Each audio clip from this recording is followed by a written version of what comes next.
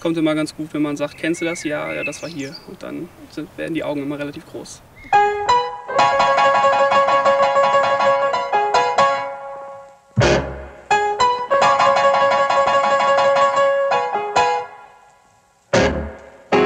When I got misery, oh my, where are you? Honey, honey, oh honey, honey, where can you be?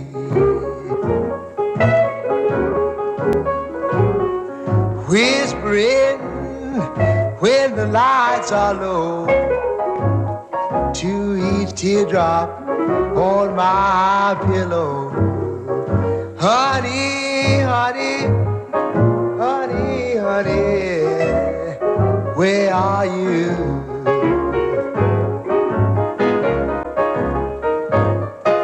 I crossed the scorching desert just to be where you are. I want you, need you, love you.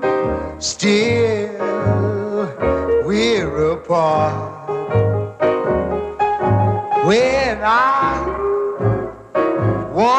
Hold you, oh my, where are you?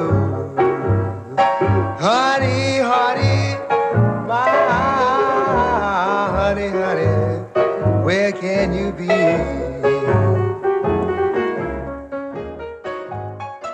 Einige unserer Bekannten, die wussten schon vorher, dass Hartmut hier gewohnt hat, von dem, wo wir noch gar nichts wussten. Wisst ihr, wo ihr da hinzieht? When Thank you.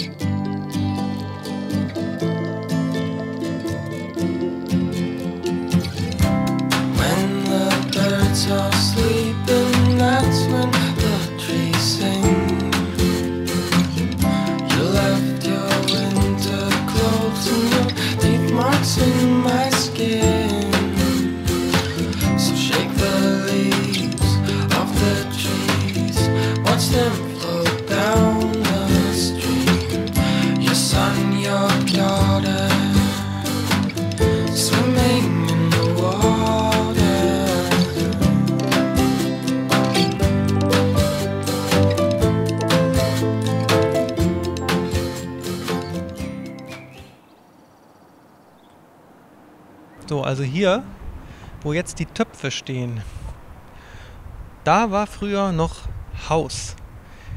Da, wo die Blumentöpfe sind, war die Mauer von Hartmuts Zimmer. Beziehungsweise von meinem Zimmer. Und das Haus reichte bis dort vorne an den Pflanzenrand. Und unter diesem Boden da war früher unser Keller.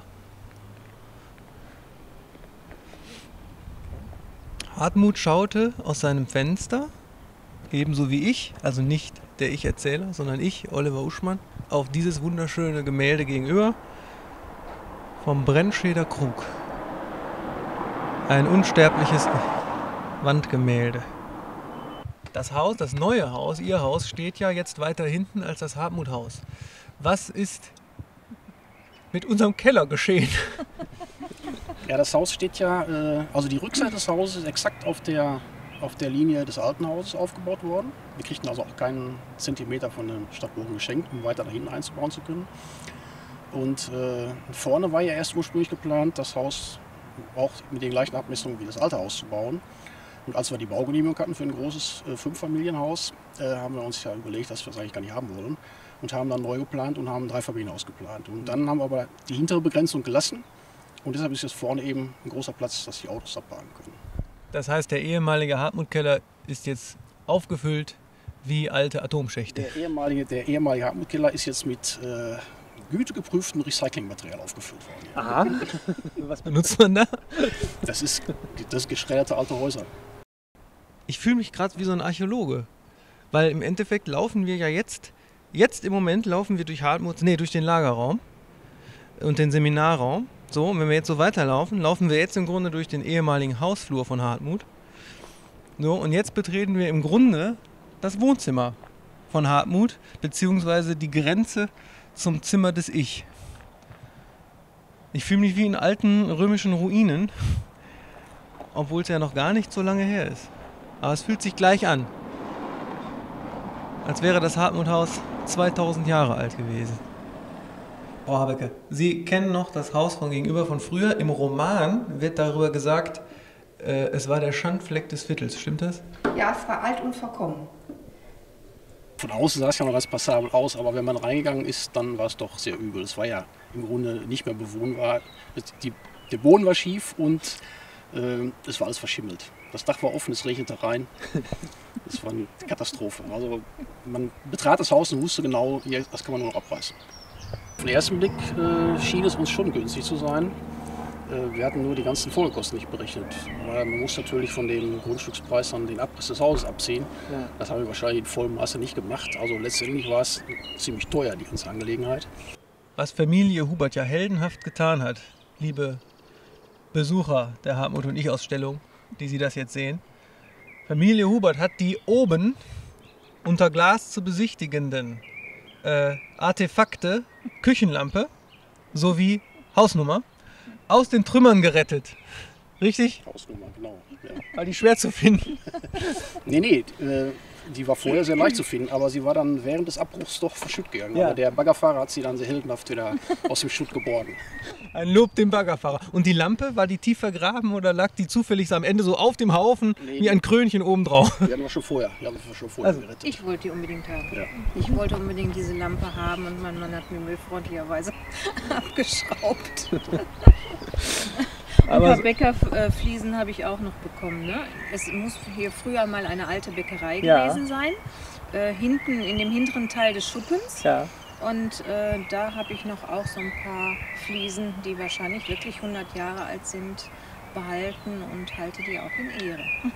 Wir sitzen hier mit dem Allgemeingelehrten Jan Hubert, Sohn der Familie Hubert, dem überhaupt zu verdanken ist, dass wir äh, diesen Film machen können, da er mich damals gefunden hat und ihm auffiel, Mensch, wir kaufen das Gelände, das einst Hartmut gehörte. Ich wusste, dass es das Buch gibt, weil viele das ähm, gelesen hatten und man davon hörte, dass es das gab. Und dann äh, ging es, glaube ich, über MySpace oder sowas ähnliches Ja. auf die Webseiten. Und dann habe ich gesehen, äh, da wollte ich mich mal melden einfach, dass das jetzt abgerissen wird. Der Blick aus dem Fenster des Ich-Erzählers und auch aus dem Fenster des Wohnzimmers, wenn man sich weit hinauslehnte, äh, fiel und fällt immer noch aufs Bochumer Paradies der Frittenbuden. Der Leckerbissengrill. Unterabteilung der Gaststätte Seier und Heimat der Kriegsveteranen. Im Roman. Du bist ein junger Mann, der auf diesem Gelände wohnt. Das heißt, du gehst mindestens dreimal die Woche zu Seier. Nee, ich gehe nicht mal einmal die Woche zu Seier. Warum nicht? Äh, äh, aus ernährungsphysiologischen Gründen kann ich mir das nicht häufiger erlauben. Hast du denn die berühmte Pommes Spezial aus Hartmut schon mal probiert? Ein äh, großer Fan äh, ihrer Gesamtkunst äh, hat mich dazu genötigt vor einem guten Jahr oder ein bisschen länger schon. Großes Kino. Ja? Ja. Pommes Spezial, großes. Großes Kino. Pommes Schlamm. Ja. Das ist was anderes als. Es gibt ja Pommes Schlamm Wie Spezial. lange, wie lange Sodbrennen? Keine Sekunde, also Untergang wie Öl. Ist ja auch im Prinzip nur Öl. Seitdem auch nicht mehr gehabt das Vergnügen. Wird ja eigentlich mal wieder Zeit jetzt. Einmal Pommes Spezial mit, mit allem, was dazugehört. Und du? Du möchtest das auch? Auch, zweimal. Zweimal. Ja.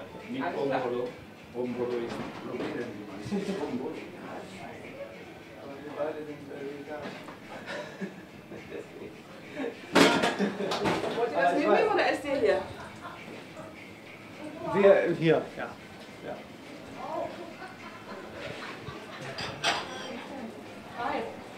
Ich esse nicht oft da bei Sayas. Also soll aber nicht schlecht sein. So,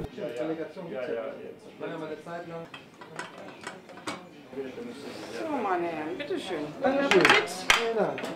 Gerne. Die Pracht Wiemelhausens. Haben Sie noch irgendeine Erinnerung an die Bewohner? Nein, überhaupt nicht. Sie kennen mich also auch nicht mehr. Ich kenne keinen davon. Dieses Haus da drüben äh, ist im Roman das Haus, äh, wo die IT-Firma sitzt, in die Hartmut äh, in, seiner, in der Geschichte Stress hineinstürmt, den Kaffeefilter aus der Maschine reißt und in einem manischen Anfall in seinem Maul zerfetzt und im Büro verteilt. In Wirklichkeit ist dort natürlich keine IT-Firma, aber das wäre in diesem Gebäude. Wir sehen nichts. Wir sehen Steine, die weißer sind als der Rest. Hier stand früher, und früher ist erst fünf Jahre her, oder, oder sechs oder sieben, eine Telefonzelle. Kennst du sowas noch? Kennt die Jugend gar nicht mehr, die jetzt die Hartmut Bücher liest. Da stand eine Telefonzelle, in der Hartmut und ich äh, relevante Telefonate geführt haben, in der Zeit vor dem Mobiltelefon. Das ist allerdings schon zehn Jahre her, fällt mir gerade auf. ich weiß, ihr kriegt das nicht mehr zusammen. Wenn man älter wird. Aha. Wir sehen, das IT-Haus, in dem Hartmut den Kaffeefilter zerfetzt, ist in Wirklichkeit eine Steuerberaterkanzlei.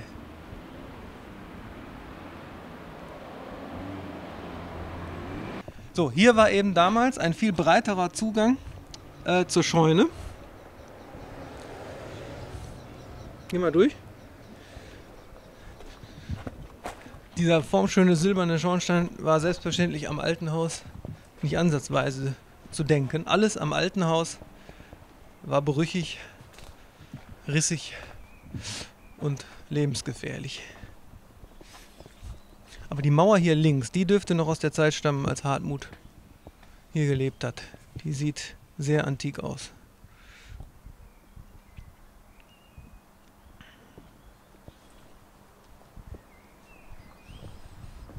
Was wir hier sehen, ja, diese formschöne, unglaublich wie Bundesgartenschau gestaltete Landschaft.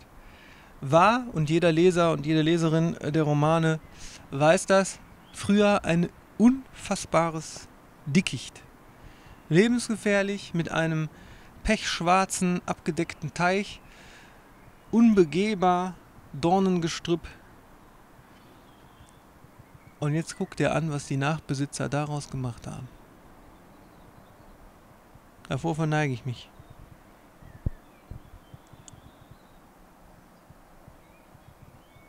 Äh, Thema, Thema Garten.